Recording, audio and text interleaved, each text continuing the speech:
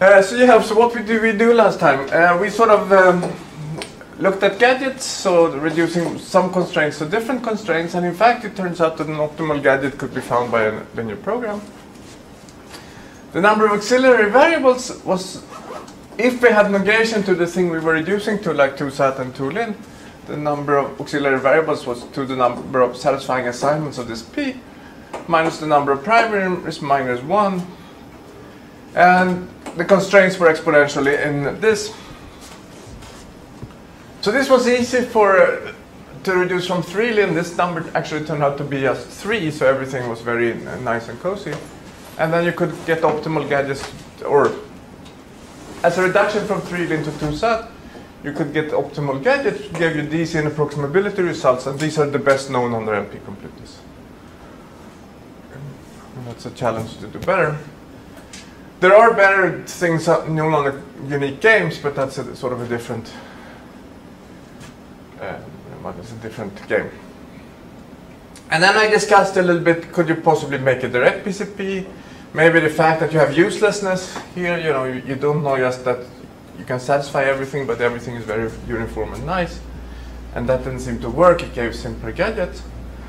And the last thing I was trying to outline is that, well, maybe we should start with a different starting point, and I call it the Hadamard predicates proven hard by Chan. And uh, the point here is that H7 is a very good predicate, but it has eight accepting configurations.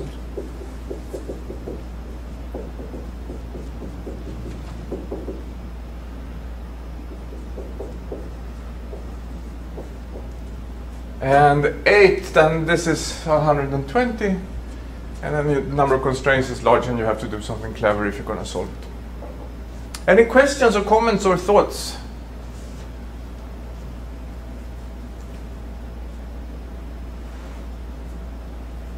No? So how hard is it to analyze this kind of thing, abstract the linear polynomial by hand versus by... Uh, I've never tried. So I've tried for this the well even well even verifying a solution by hand is difficult right when you get to, to these kind of things right because then you're, you're, you're writing down a gadget which has 120 auxiliary variables and you're sort of hoping that the max cut of, or you know the best tool in two in this will have certain properties it's not so easy. lot of structure. That's Yeah, it's a lot of structure, but I couldn't do it by hand. I I only do it by computer. Yes? Are there any gadgets are changing not one clause to too many, but two clauses too many? Um, that's a good question. I don't. I, I can't. I can't say anything better than to think of this. So you have, if you have two things like this, you want to think of this as a constraint in six variables, right? You could do the same thing. Now we actually have six variables, and we sort of. But then we have, unfortunately, 16 satisfying assignments, and we're starting the get. Okay, But nothing prevents that. I mean, possibly you can do better by taking two, I suppose.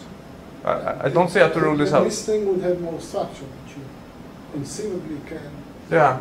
take two. Just, just uh, there should be some worst case in, in the gadget. Yeah, yeah, yeah. so No, that, uh, you, you know, just to try to go around the worst case until you can do that. That's an interesting question. Do, so y- work on it. I don't know the answer.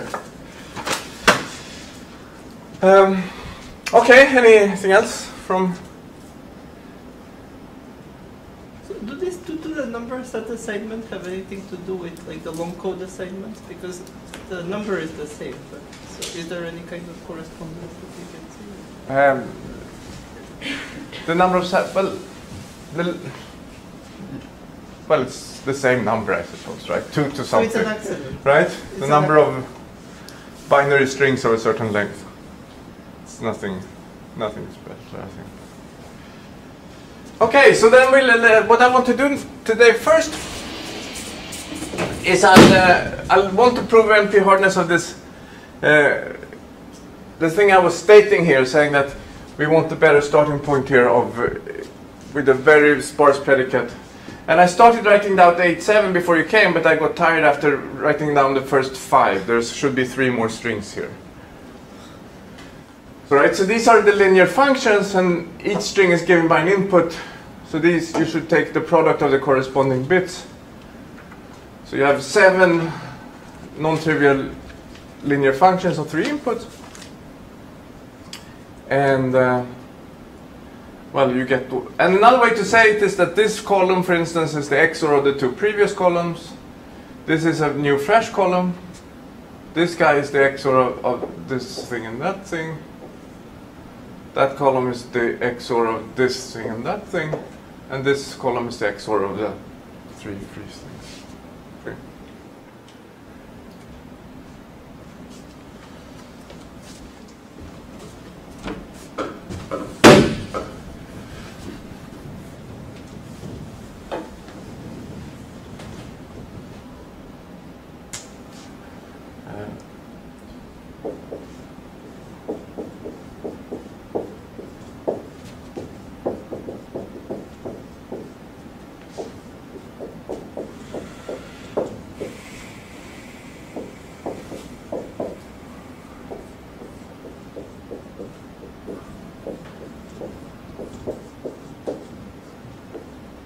For the record, let me say that uh,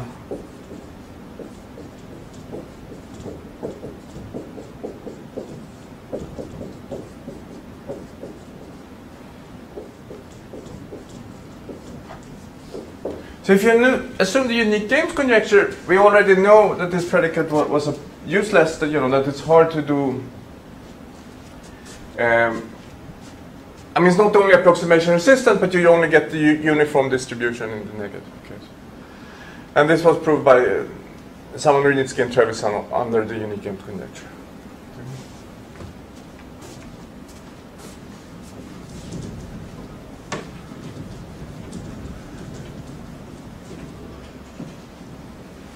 And once they had done this, of course, you think about proving it under NP hardness, but this seemed completely hopeless. I'll convince you why this is hopeless, okay? Um,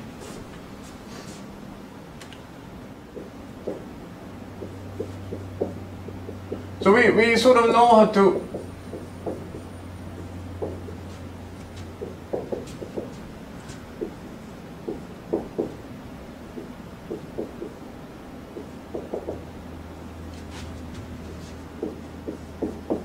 What is hopeless? I- What I'm going to prove is hopeless. Uh, first, I'll prove. prove I'll, I'll, I'll explain to you why it's hopeless to prove, and then I'll prove it. Okay. What, what are you? What, what is your statement? Okay. Now, now we, I, I've done a couple of these proofs, right? We don't know how we know how, how the machine works, right? We have a predicate in mind. We have this predicate in mind, and now we're just going to pick some some some things here, and some things here. Maybe we'll have a couple of tables here. Who knows? And we'll pick some questions, and then we'll make sure that, you know,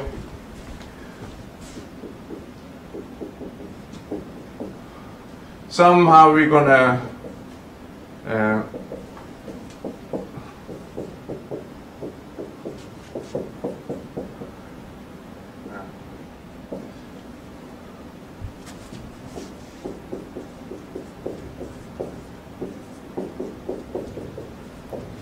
Right, we know what these things should look like, right? We're going to ask a few questions. We're going to ask some in the small table. We're going to ask some in the big table, and then we sort of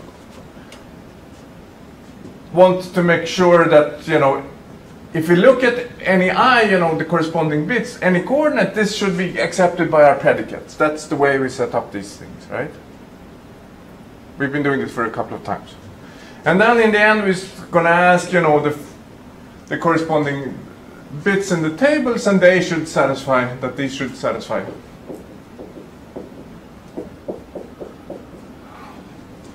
And if in the negative case, we'll assume, we in fact want to say that any non-trivial product of this has ex- low expectation. That's the way we set up these things, right?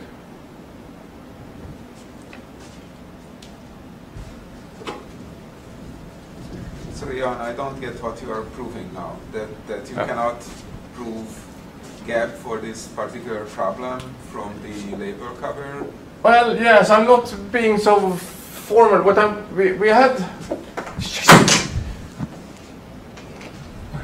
I'm not proving anything, okay? So I just sort of want to build up to Chan's result by saying he really needed a great new idea that goes beyond the technology we had so far, and the technology we so had so far was hopeless to prove what he proved. That's what I'm trying to prove. So that's why I first want to discuss how would we have gone t- about to prove his result if we only had the technology I, I've shown you so far. You mean hopeless to prove those better bounds for two sat and No, no, for, now I, I left 2sat and 2lin. I just want to discuss, say, H7 here. We want to prove uselessness for H7. That you can create instances where it's hard to distinguish when you can almost always satisfy H7 and from those where you actually get the uniform distribution on the 8-bit, on the 7-bit strings when, for any proof. That's, am I making sense? Nat is not even nodding. You should nod nothing. I'm not making sense. So you're starting to prove that H7 is approximation resistant, and Yeah. you're going to show us that the proof fails, and then you're going to fix it using the Chan's new idea. That's Great! does that make sense? I'm just translating. I don't need the book. What's that? Good, so how would we do it, right? We've seen how to do these proofs over and over again, right? And the idea is that, you know, we pick some strings to the left and some to the right, and we make sure that, you know, if we look at them locally, you know, if you take, we have three inputs there, and then we sort of have the, on the left side we need the projections, and they should all satisfy HK, right? And then in the end we're going to uh, take these big strings and feed them into our functions, and our test will be to see if that satisfies HK. So how would we do in this case? So the first thing is, those who did the homework, and Dominique is not here, so the first thing you have to decide on which sides do which questions go on, right? And then you sort of start fiddling. Okay? okay. So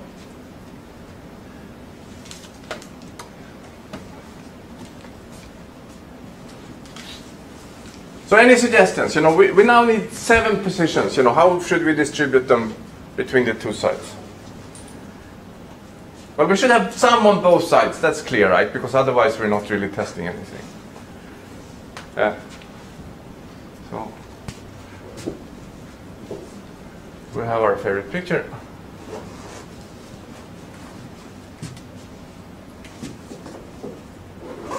You're going to have on one side, and, Yeah. and then you're going to be in. Well, suppose we even have two on the small side. Okay. So we start here with some uh, some x1, which is here.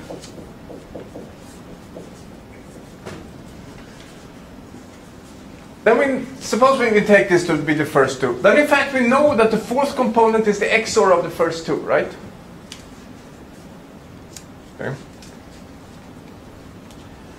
And this sort of says that we need the fourth bit also to live here because it's going to be essentially the XOR. Maybe we could add some noise, but it's going to essentially live there. Okay. So if we have x1 and x2,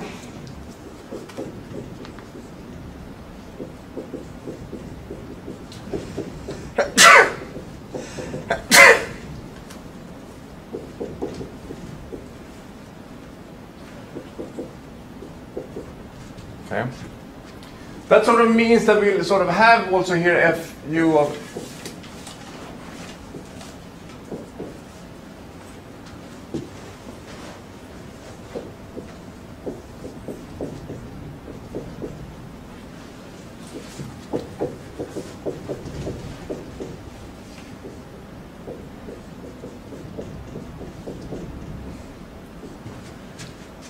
And now when we're going to prove uselessness, right? We want to prove that any product of these bits we're going to read is going to be small. And in particular, we should prove that the product of these three bits is small. But if this is just a long code that's not consistent with anything here, this bit will be perfectly one, and we'll have some some some. So we can't prove that all characters are small. Even if f is a linear function. Yeah, well, if f is a correct long code. So always the thing to one th- dangerous thing to think about is that these are inconsistent long codes. That's always a bad. That there's no that they are correctly specified. They're coding something, but they're coding nothing. Some, something has nothing to do with the label code. Yeah, And I, I don't understand one thing about this uselessness that so you can prove some gap, right? Because you can prove if something has a gap, then you can prove that there is, some gap it is NP hard, isn't? Can't you?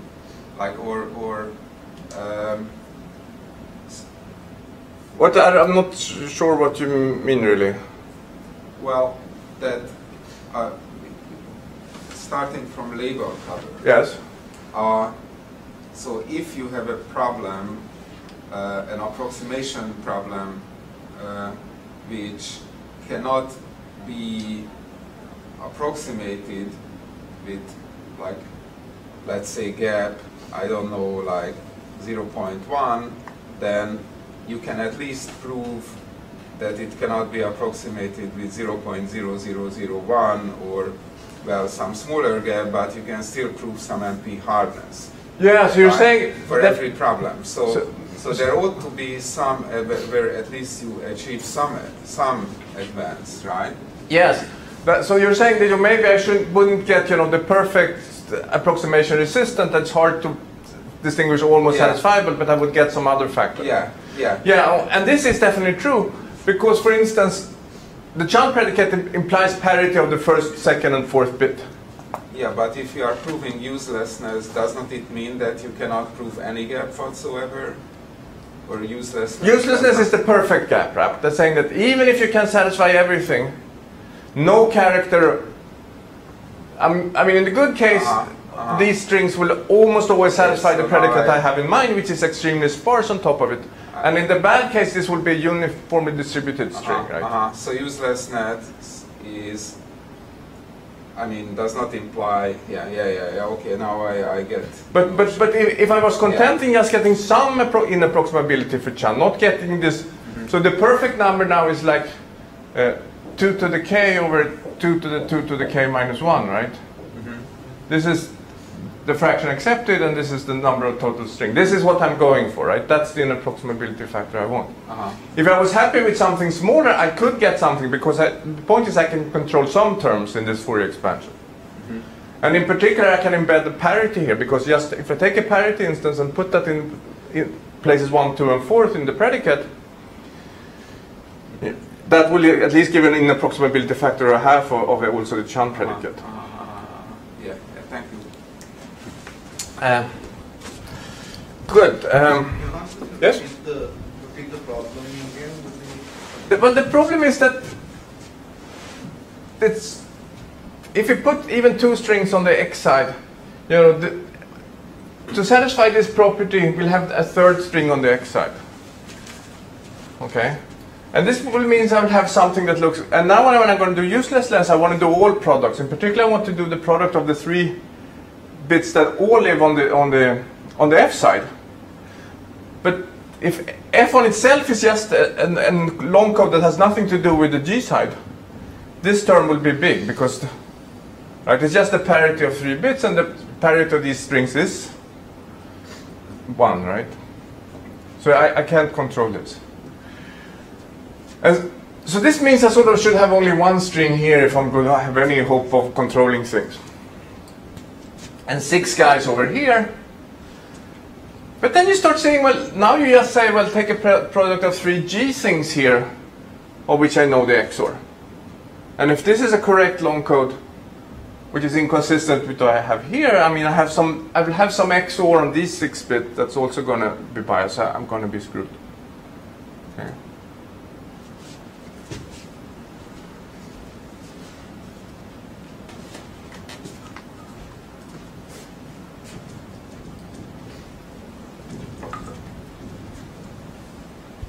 Unless they're chosen independently, right? Well, how I'm going to choose things, I'm, I'll, I'll clearly want to choose. So I choose an X on this side, and then I'll choose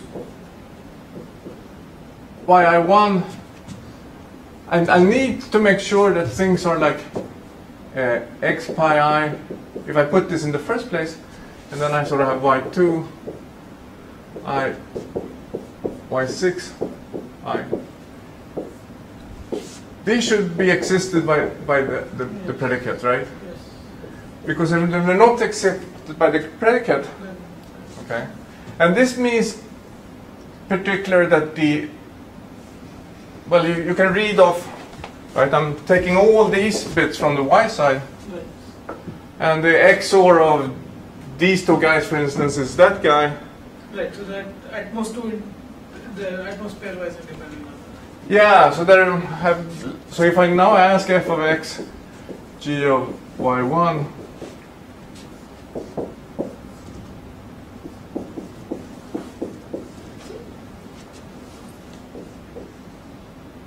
right? Yes, sir.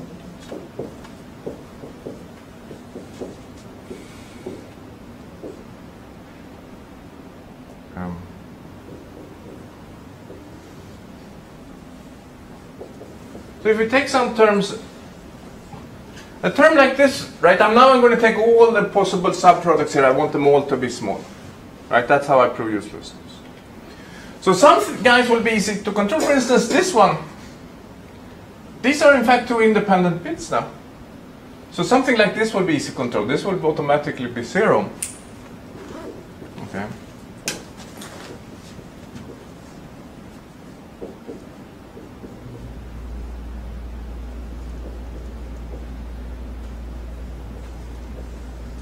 Okay. And if you look at one like this,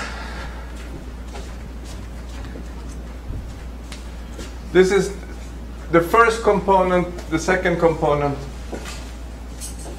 Uh, did I do this wrong? Yeah. Oh, sorry. This one is actually easy to control because these are independent. These guys are these first three positions, and uh, the third is the XOR of the first two guys. But also this guy we can control because this is exactly what we did in the parity analysis. This will have the same distribution as we had in the parity, so this will be easy to control.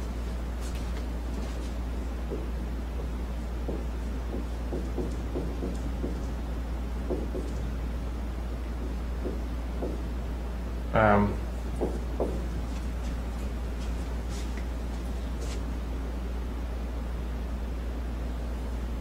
um, well, on the other hand,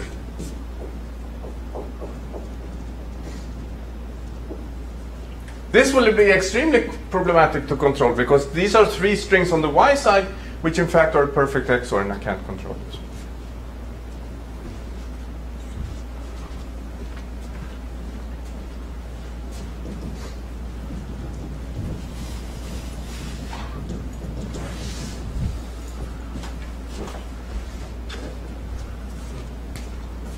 Yes? Isn't the problem here because of the structure of label cover, the bipartiteness? If we had, instead of label cover, we had a k by 2 partite graph which had hardness. If you started from that, you won't have this. Well, we, all, we have lots of you just managed to put two on each, it's- it's because we're going to put three on one particular, on the same side, that's the reason the problem. Yes, uh, uh, but somehow, yeah, we could sort of think of having two guys over here.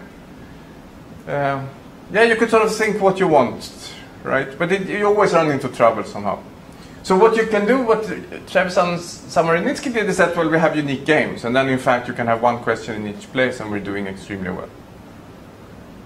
Okay, but now as long as we have uh, sort of a, a, a massive projections here, we're, we're in deep trouble because we're going to get correlations and lots of stuff.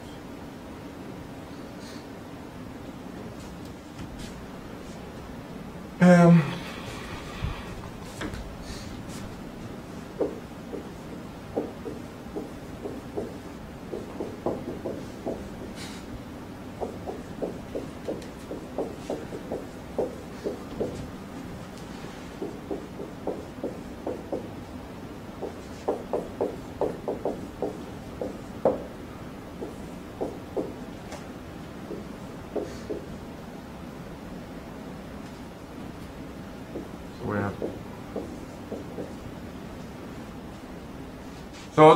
the thing we're going to do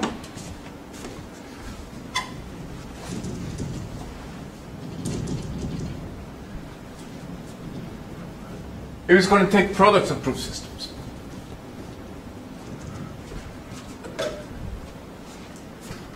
And uh, so we'll have a proof system that we call the product of Q1 and Q2. We'll have questions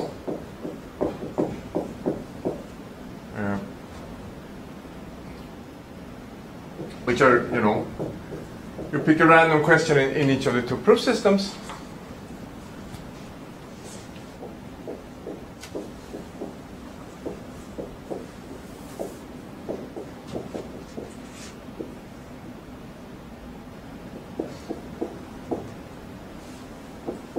Actually, so in the first proof system we should have gotten t bits.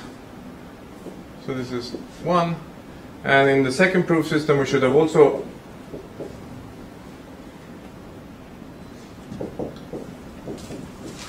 gotten 2 bits. And we'll just take the, the, the product of these things. In the, I mean, the, the way the honest prover works for the honest system, we'll just take the product of these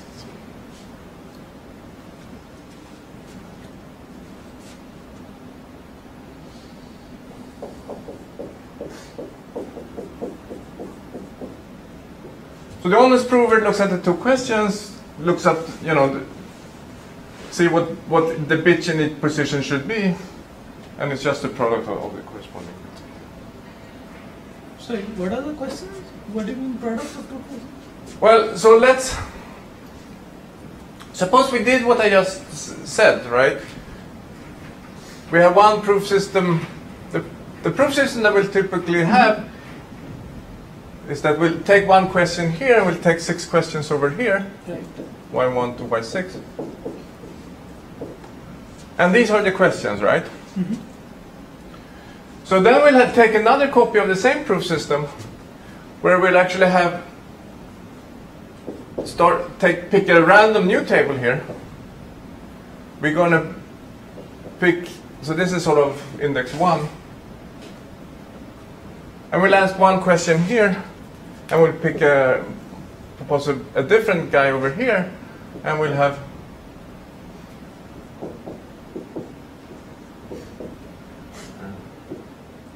uh, this should be two.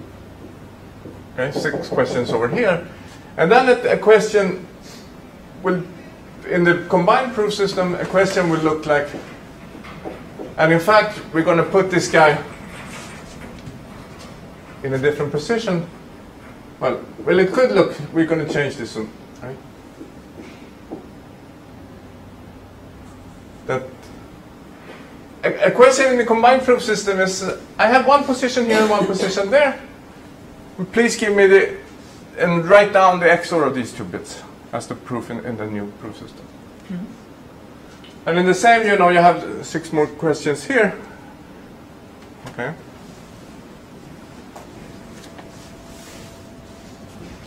So the questions are like repetition, but the answers you want not answers to separate questions, for the XOR. Yeah, yeah. Want the, want the chocolate?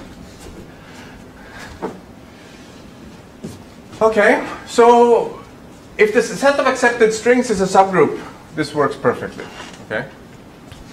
So in the in the binary, this what by the way, what I'm saying is going to work over any and I'm you know mod q mod or any in any group, but I'm going to do it in in the the XOR. Okay.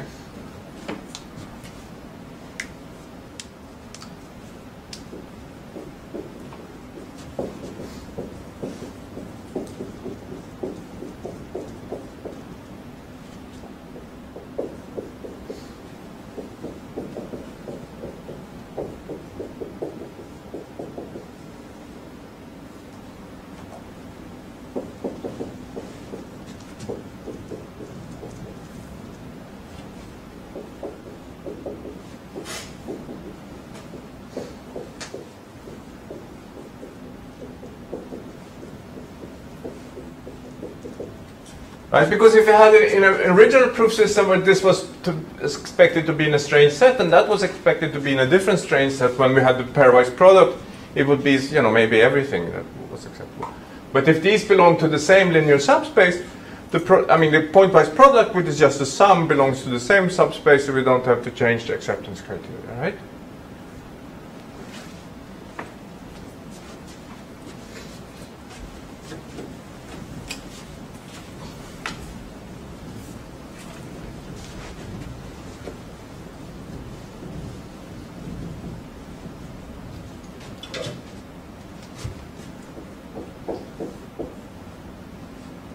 So let's, if we have a proof system Q with answers A1, Q1, 2, A.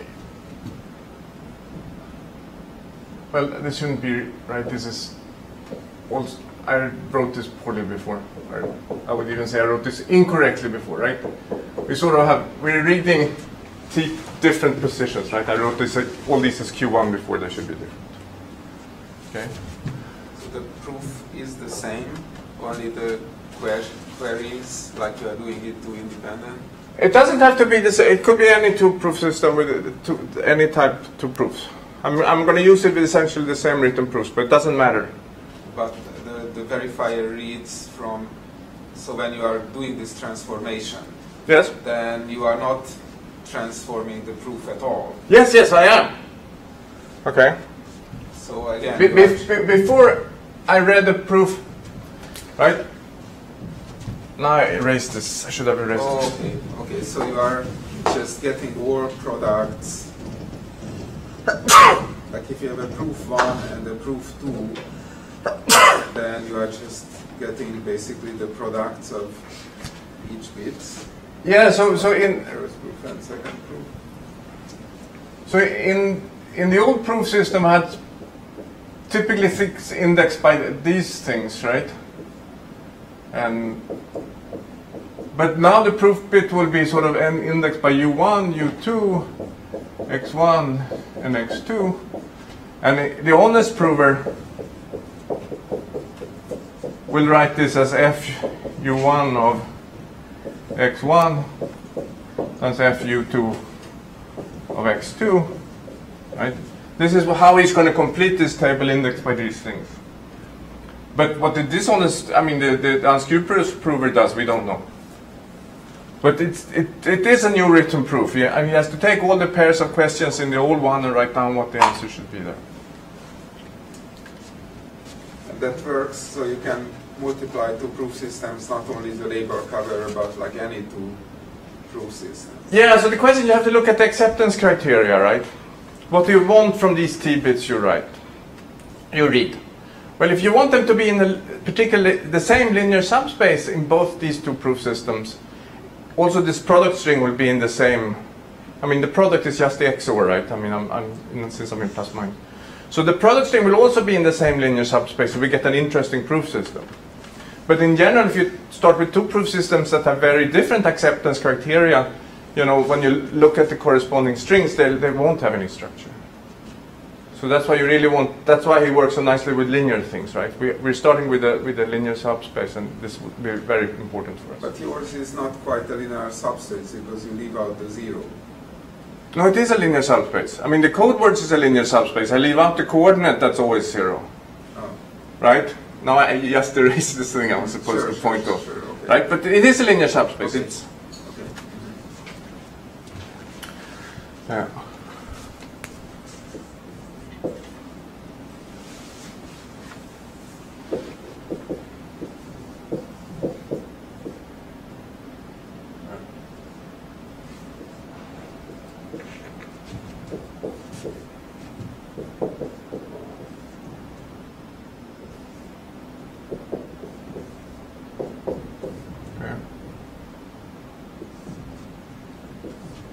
Right, so what's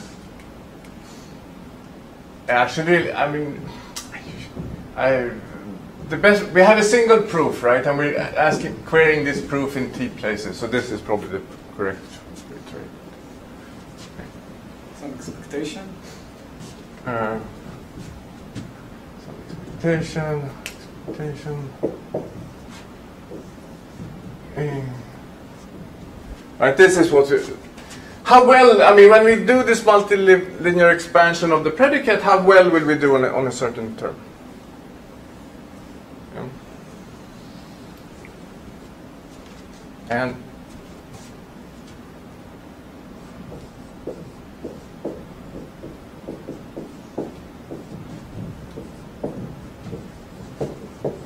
now we have a lemma here.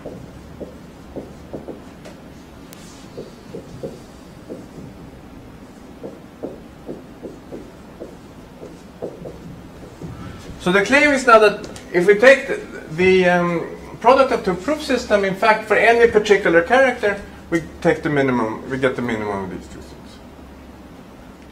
Sorry, I'm not, I'm not sure I understood what M alpha Q is called. So, Equality sign. so, So, right, so when we're going to prove uselessness, right, we, we have these t questions, and we're going to want to say that the distribution of these t bits is uniform, and that's saying that the expectation of any subset of these guys is unbiased, right? Mm-hmm. So we'll take one proof system and look at the, the bias of one character mm-hmm. on the answers. Mm-hmm. And what I'm claiming now is that if you take the product of two systems, we get the better of the two. You're happy with this statement?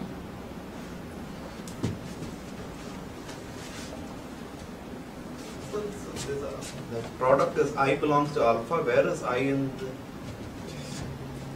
Such a. I just needed a dot. Okay.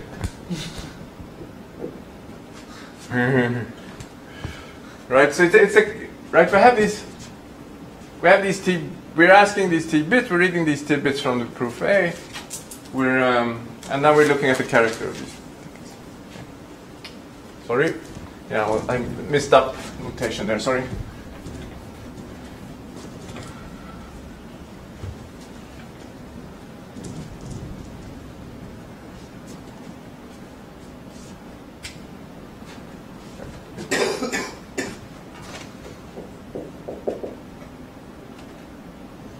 So let's let's prove that m alpha q1 times q2 is smaller than m alpha of q1.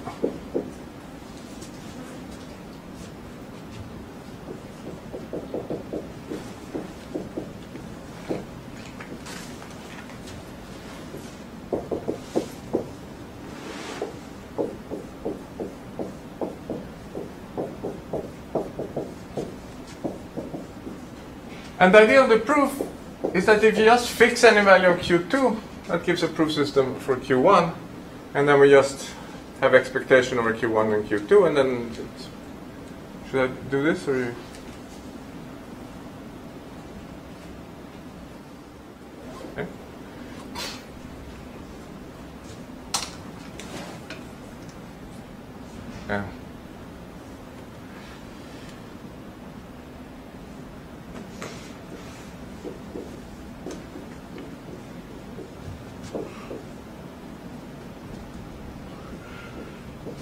And of course, once you have this,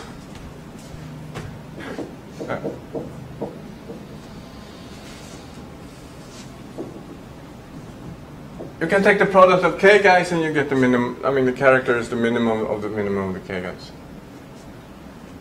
Okay.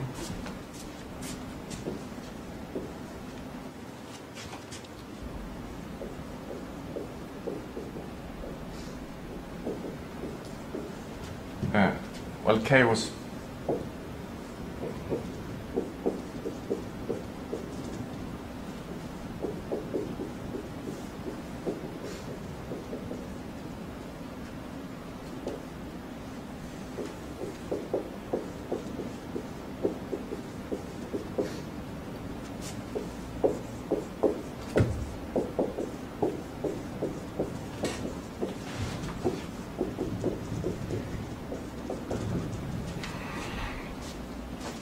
So I was saying before, you know, when I was arguing about the, the proof system with one question on on the x small side and six on the big side, I said, well, this term we can handle, this term we have problems with, that term we can handle.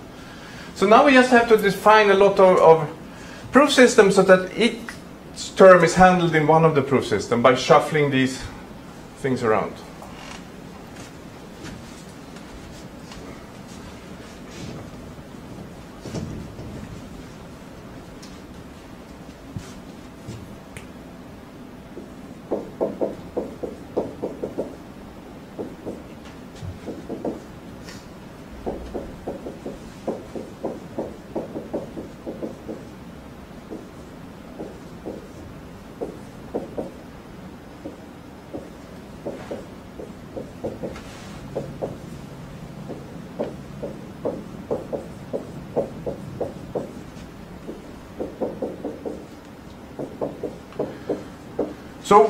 What I actually didn't intend to do, but just want to tell you, is that if you look at the ice-proof system, what you'll do is you'll put the, the one question on the left side in position i, and then you'll make all the other guys y, and it turns out that you can bound all coefficients that contain i.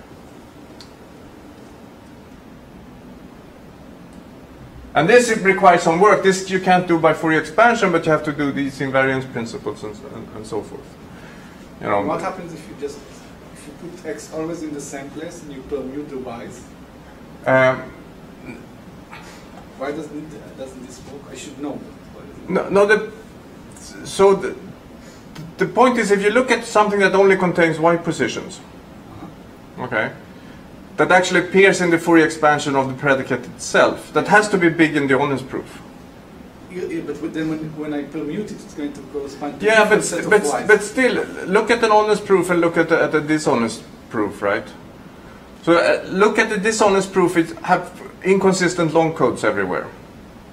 That thing has to survive. I mean, if you're looking at a term that doesn't contain anything from the x side, you know, positions that just contain y variables, they will look exactly the same in the honest proof and, and, the, uh, and this cheating proof with inconsistent long codes.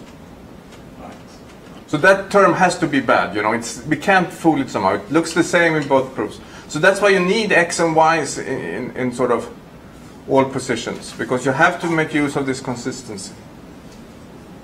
Okay? And I don't know, I, I, I can't even do this proof standing now, so there's no option, but you know, this is how the proof ends. So the great invention is, you know, to have this proof, you, you sort of a new era of proofs that you can, that the idea that you can take proof of proof systems and handle the terms in different proofs, and that sort of was the great idea that we didn't have before. Okay. Any questions on this?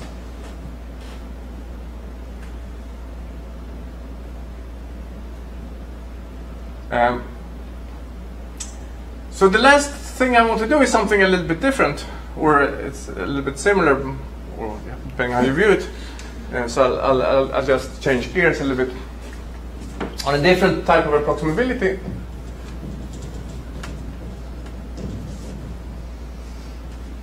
So we'll have a k-sat formula. And this is going to be exactly k-sat, so we'll have, you know,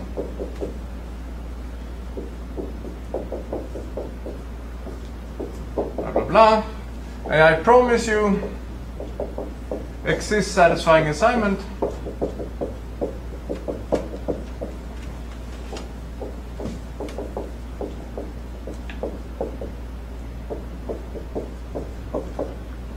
That satisfies L, L literals in each clause.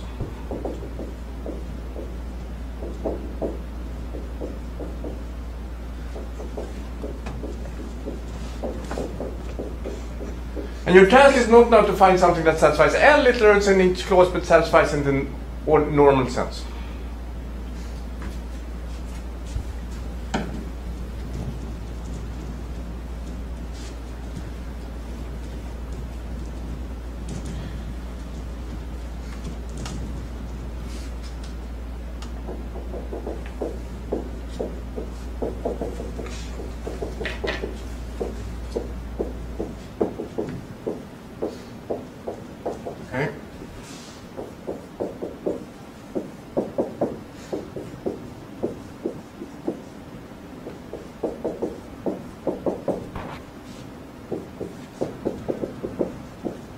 Instance, in the standard case where L is equal to 1, if you know k is equal to 3, it's NP hard, but if L is equal to, k is equal to 2, it's polynomial time. So for which values of k and L is this NP hard is now my question. So it's an approximation in a different dimension. L over 2. K over 2 is thing. What? Should be K over 2 somehow. Should be k over 2, okay? And uh, you want an apple? You sure? You have a lot. Yeah, so why k over 2? Because otherwise some random walk thing should work out. Mm-hmm. Okay. So what you're saying that could you re- uh, what's the random thing walk thing that would work out? I opinion, I, I don't really see, but there should be a bias if you resample, if you if you have a bad clause and you resample variables. it You, you never saw this before? What? There's No. an algorithm by, by, by Christos, right? You don't- yeah, the, the simple version. That's the, the Christos algorithm for two sat. Yeah. Yeah. And the point is that the Christos two-sat algorithm works, right? Sorry, I didn't understand this. So I'll tell you what, what's the Christos two-sat algorithm is that take any, take any unsat, suppose you have a satisfy, a two-sat formula that's satisfiable, and the following algorithm, take an unsatisfied clause and flip one of its variables. Okay. So how many people saw this algorithm before? Okay, so if you didn't, I'll, I'll repeat it and analyze. It's sort of it's a very cute algorithm, right? Is it the same as Schöning's algorithm, or What? is it the same as Schöning's No, algorithm? no, no, no. So this is for two sat. Uh, start with something arbitrary.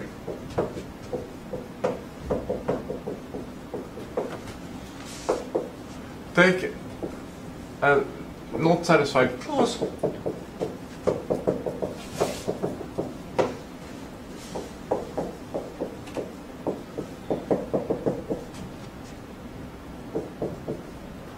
So, uh, so I'll say it more carefully.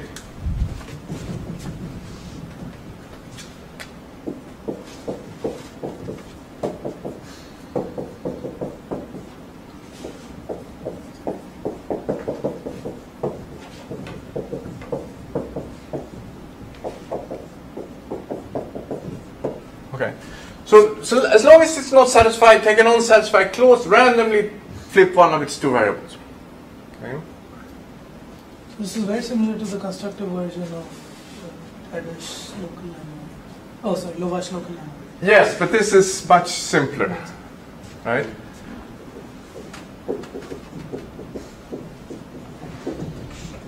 So let's.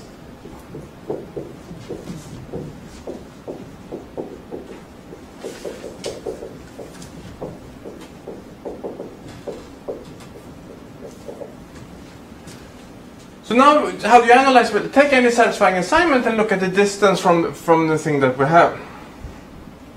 Well, since this is satisfying, it must be different in one of these two variables. And in the worst case, it's, this, it's different in both, and then we actually are sure going to make progress, but otherwise, you, you know, it's an unbiased random walk. Well, normally, it's, if you look at the distance to any point, it's not an unbiased random walk. When we're starting to get closer, we just flip something randomly, we're likely to move away, right? So this is an unbiased random walk.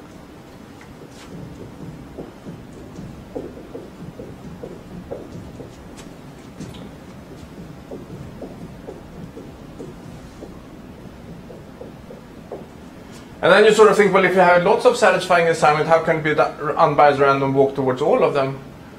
But once you've hit the first one, you sort of get stuck and you don't move any further. So it's, it's. So then, when does this work? What? In, in more general. Yeah. Well, as you said.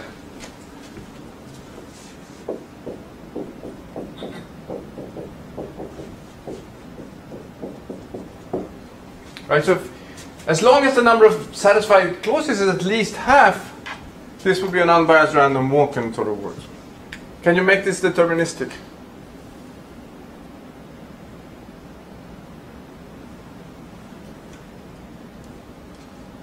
This is a good homework problem.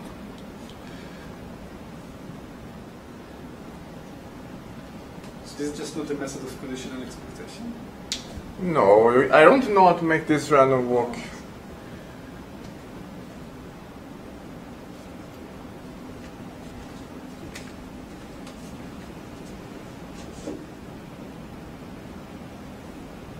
So if L is strictly greater than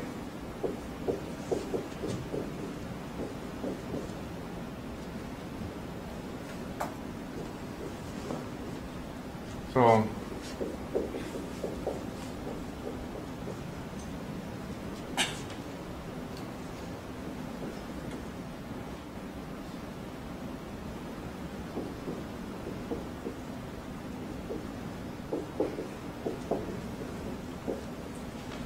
So if L is actually greater than K over 2, over- then you, you set up the corresponding LP.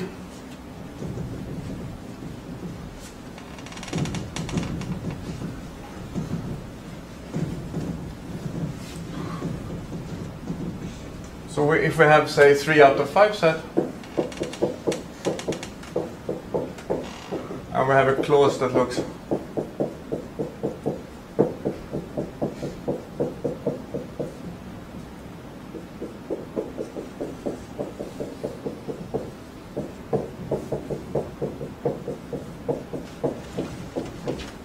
Then we take any clause and say, well, three of its variables should be satisfied. Then, um, and then we, this is a solvable LP because it's solvable by 0, 1, and then we find a zero. And, but then, in fact, anything that's greater than a half will round to true, and it has to be one variable in each of things because L is actually strictly greater than K over 2. On the other hand, when L is exactly K over 2, you, all variables equal to one half is a solution to this LP, so this LP is not so useful. And then you have to do something more, but you can make it determine. I don't. If I, you can think about it while I'm talking, but you know, you can fix also k equal to exactly L exactly k. So do you think it's hard? Otherwise, and how do you prove this? Um, I mean, if the ratio is really high, you can just encode the standard three sets. Like if it's greater than 2k over 2, 2 thirds or something, right? But, uh, Well,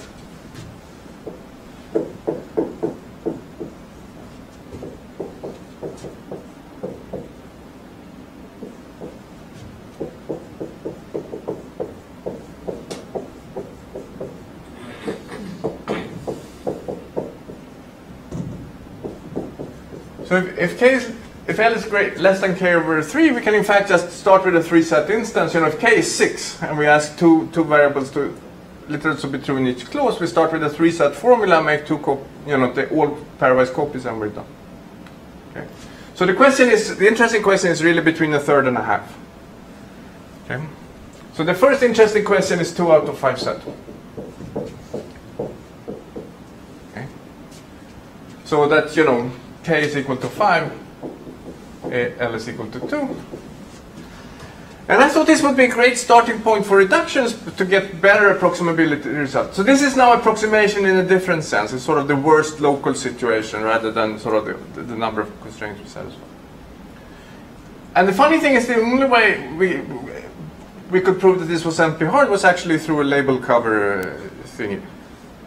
And it, I searched the literature a little bit, but then when you prove it yourself, you hope that nobody else proved it. But and I asked some people, did anybody see this? So I want to prove that this is NP hard. You mean no approximation involved whatsoever? Yeah, so that's a good question. I'll say at the end. I don't get any approximation of this. You know, it's, I can't uh, count the number of satisfied uh, clauses, just that there will be some falsified clause. I thought that NP hardness can be always proven with gadget reduction. Yeah, so let's let's prove. Yeah, so that's a, another. Yeah, gadget reduction would always give some inapproximability. So I'll, I'll let me prove this theorem. Okay, This, this is NPR. this is NP hard. So this is un, now unpublished, and it's not clear who it's by because you know we haven't really seen how far we can push this. So this is it's possibly by me, Per Austrin and Venkat Guruswami, but it might be a different list of authors when the smoke clears. Okay. So, so two.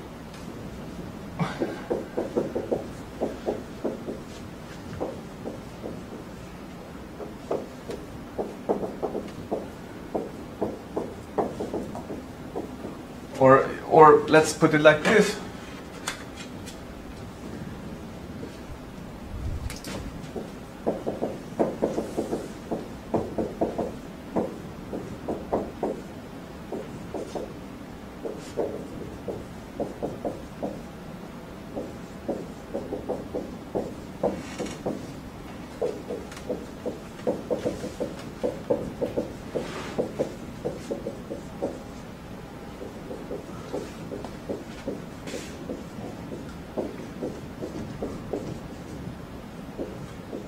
May, I think you will get some in approximate bit. We'll, we'll see.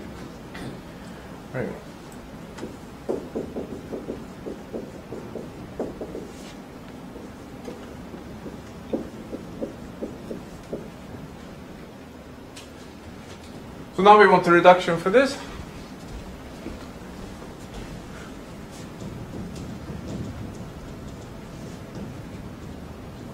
And uh, just to make perfectly clear, so satisfy two means at least two, right? Uh, sorry, yes, yeah.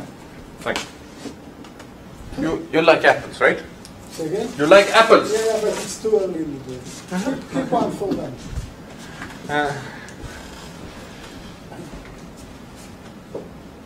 so how do we prove this?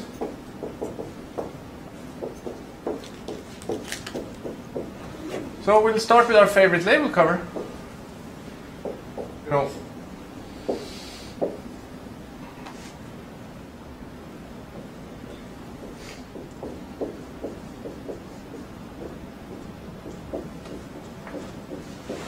So we'll do all natural clauses. Okay?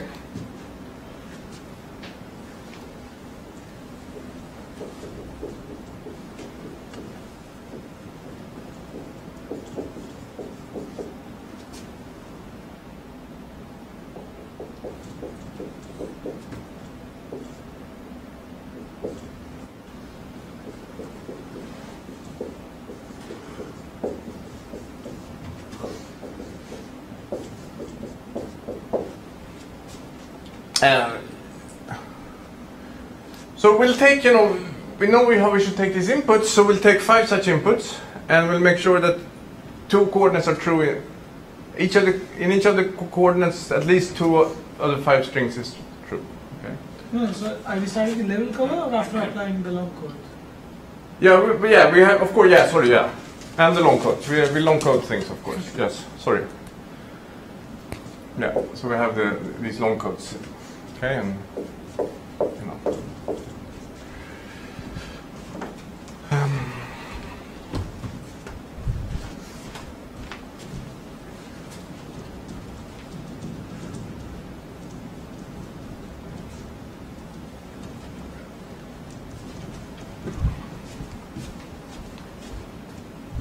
And we we do the same sort of internal test for for what for for G sub W, each W. We take five guys here, and finally we'll take x1, x2. Let's call it y3, y4, y5.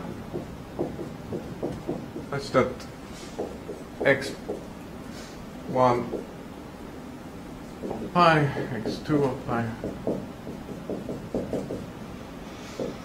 y three of.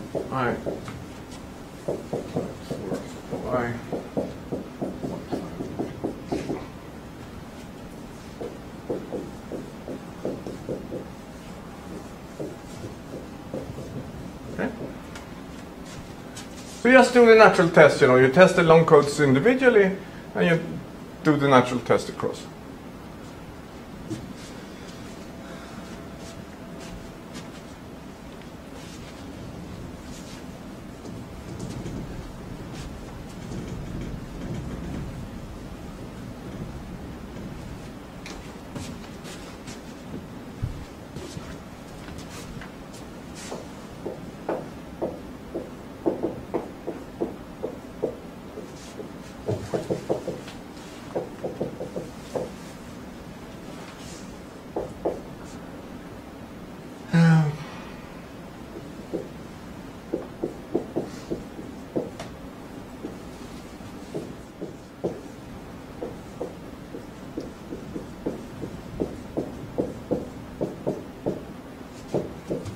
And, and I'm sorry, and I forget, everything of course is folded. Um, right, we- we're, we're in a, we have a five sets, we have negation, so we, we, we, we fold these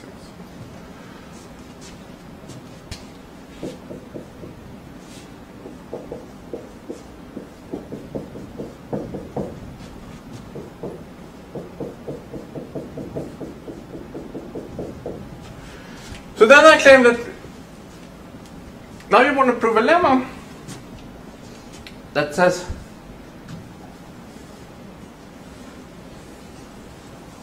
if f satisfies all the f clauses, you know, all the clauses of this type, and it actually depends. So f is a function, right? If it depends on the ith and the jth coordinate, then in fact it's 1 whenever these coordinates are 1. That's the only... What do you mean depends? So it could be co- in, uh, it could depend only on the other ones and be const, uh, be constant whatever x and xt are. So I, That's not that's not the case. No, so what, what I mean by depend,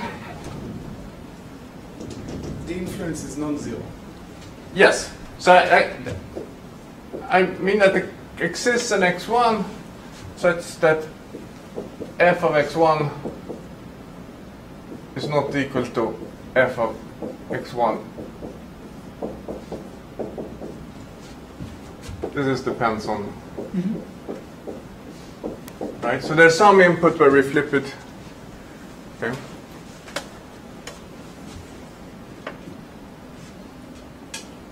Okay.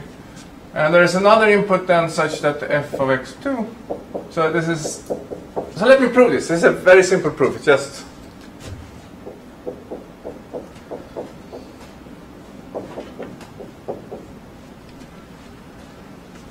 so we have, you know, two inputs, x1 and x2. Uh, so let's assume just that this in fact is minus 1 true, okay? This, otherwise I can just reverse the roles of the two things. Okay. So this means that this in fact is equal to this. Okay?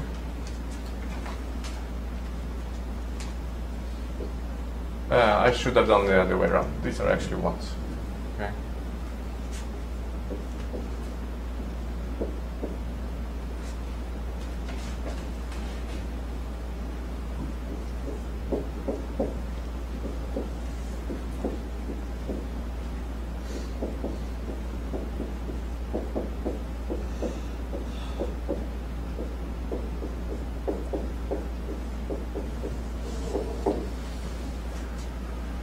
Um, so now we just look at this five tuple, and I think it, I claim it's a legitimate five tuple for our test.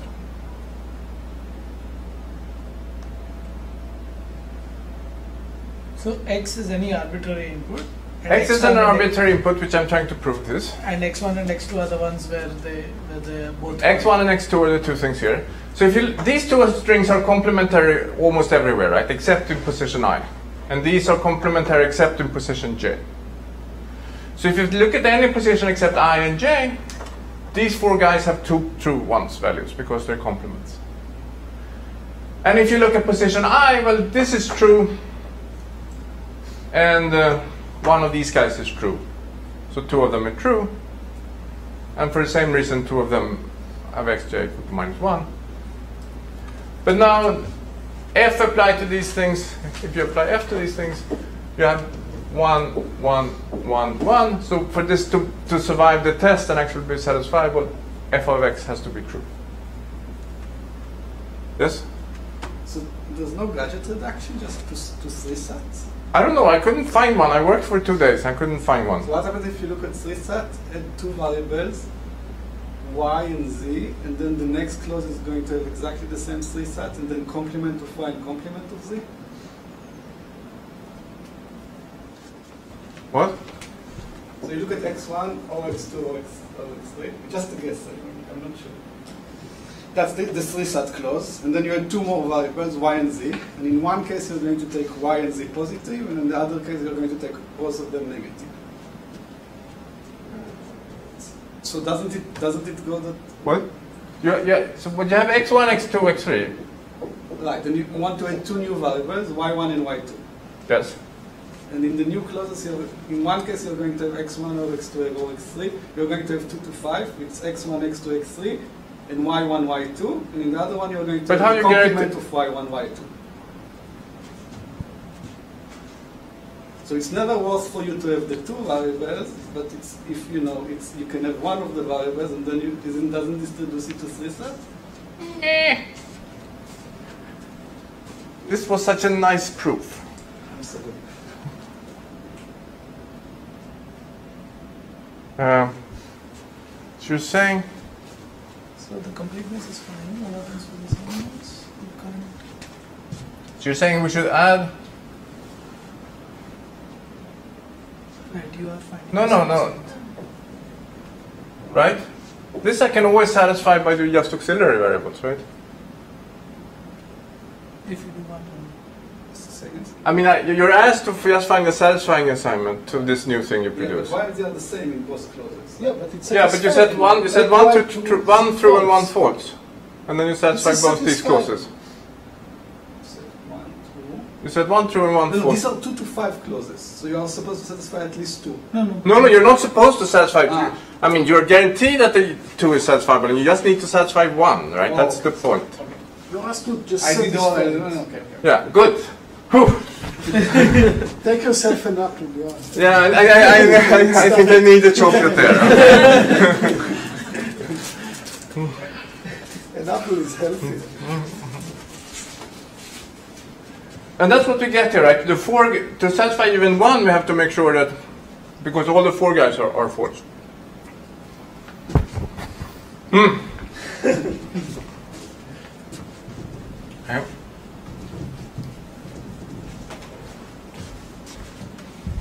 So I claim that the lemma is fine. Yeah. The corollary is that.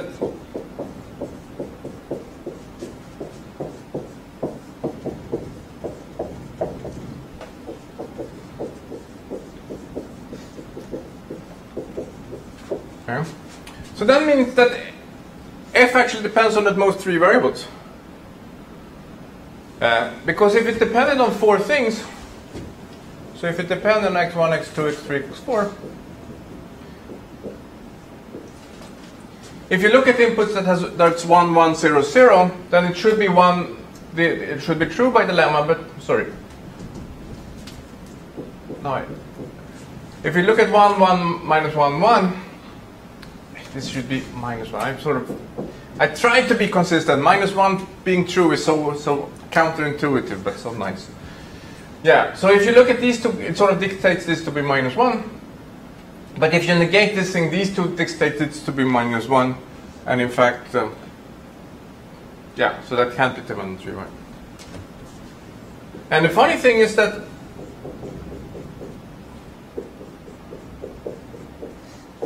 that if you take the majority of three guys, it's like, it doesn't have to be a long code. If you take the majority of three guys, it actually contains, it, it survives this test. It satisfies at least. But it's, it's this is sharp. But now this is now we're sort of fine because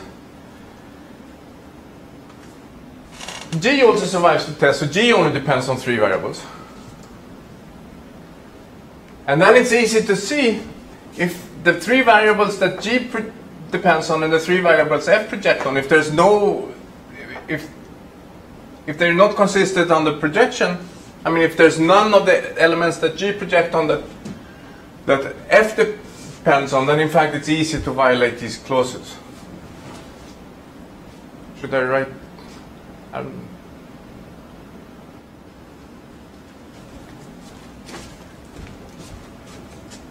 So let me write it down.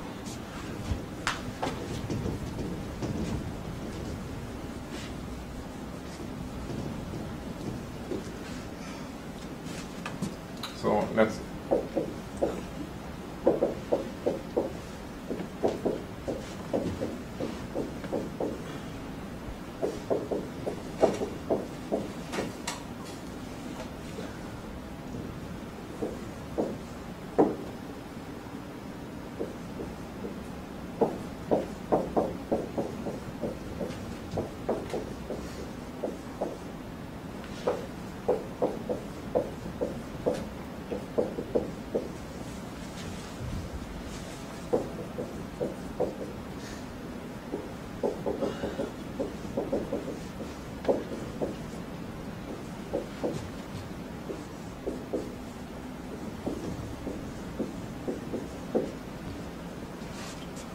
So I claim that if you know f and g survives and we have what survival cr- cross clauses, then I claim that there exists a labeling that satisfies at least a ninth of, of all the, the uh, label conditions.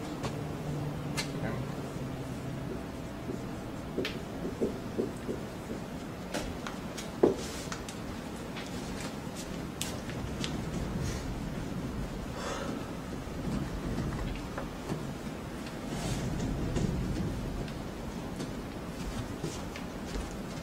And why is this? Well, suppose fu depends on xi1, xi2, xi3. G depends on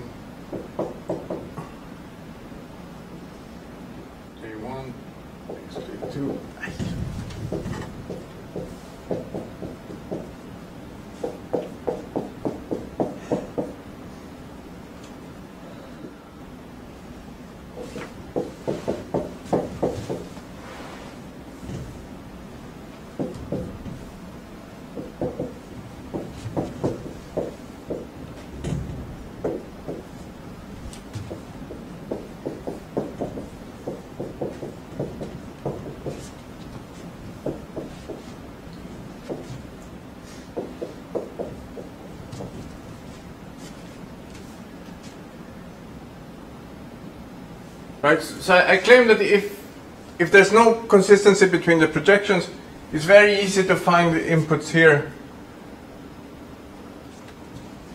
I, I wasn't even going to prove this, but you don't look happy enough.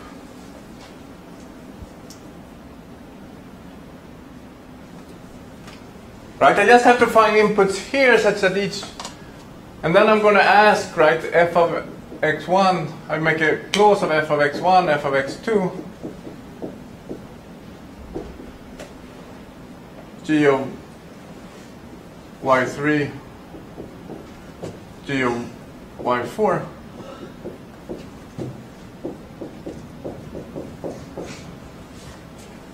But these depend on completely, I mean, these depend on completely different variables and that doesn't project onto what these depend on. So it's very easy to just construct x and y that screws this up. And then we're done. Because that will say if you just take a random variable on which it depends, we'll get at least at ninth and, and then we're done. And then in fact you just need a label cover with one ninth soundness, which is just some finite label covers. I suppose we get some inapproximability in the end. But it's a very minute, it's a incredibly small constant. Um, So, so you are looking at a particular problem where there is a notion of strongly satis- a clause is strongly satisfied and the clause is weakly satisfied. mhm. And then you create a promise problem out of this. Yes. So, so this could be done like more generally, but does this do these kind of problems? I mean, are these kind of problems kind of the same as CSPs? Like, No, no. for instance, does dichotomy hold or So let me tell you my reason for. So this is now a completely different problem. It's not a CSP anymore. Of course, now we can start saying things. You know, suppose this is perfectly satisfiable. What fraction can you do? Blah blah blah. But my the reason I wanted this problem is I wanted this as a starting point for a job scheduling hardness, right? So what's your job scheduling, right? You have lots of machines, and the question is, what's the maximum running time of all the machines? Which is a very different problem from a max CSP problem because it's sort of you're looking at the worst local situation, you know, which machine is the most loaded. And then I thought this would be an excellent starting point because here we're sort of looking at the worst local situation, you know, which clause has the fewest true literals. Uh, so then I wanted this problem and then we managed to prove this problem, but then we couldn't get the scheduling problems as a reduction from it. So the hope is that I'm telling you guys, you now get a new fresh tool that nobody has, and you should use this for reductions. Yes. I guess, I guess philosophically it's also like related to the question is where is the hardness of the SAT problem? Is it at two or is it at three? Yeah. And the philosophy is that it should be at two, and therefore, you know, this shouldn't just, it should be even for larger numbers. You know, whenever you're above the half threshold, you should, it should be hard. So you know how to prove that or not yet? I mean, for other values, not two out of five, So three out of seven. for example. Yeah, the same proof works. The same. Yeah. Yeah. So I forgot to say this. You, you, you. So yeah, so this proof, if you think about it, it works for any, right? If I start with three, then in fact f will only, if if it depends on, on any particular three coordinates, then you can do exactly the same trick with the pairs, and then it just works. Sorry, yeah. So so this sort of completely answers the question of L versus K sets. You know, if L is at least K over 2, it's easy, and if it's strictly less than K over 2, it's empty. Which I felt was fairly satisfying. Yes? So if the first satisfies k over two literals, and you're actually finding a sample that satisfies k over two, or just some satisfying? You just find some satisfying because this these algorithms sort of like Papadimitriou, if you run it once you've satisfied all the clauses, you don't you, you can't make progress. And it sort of would be natural because otherwise you could probably solve this.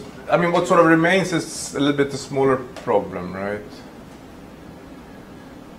Suppose I start with a particular problem and I just add, add you know, increase k to k plus 1 and l to l plus 1 by just adding 1 through, then that shouldn't work. Uh, yeah, so um, that was actually the end of the things I was planning to say, so I think I'll just give you a longer break.